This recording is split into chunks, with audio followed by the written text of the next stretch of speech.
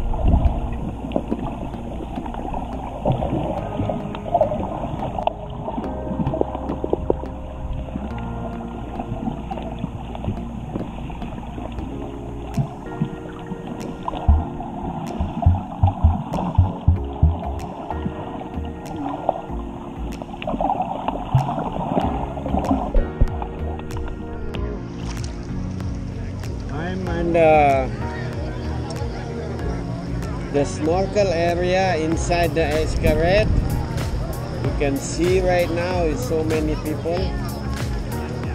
Okay, I'm gonna show you around. We have a lot of people in here.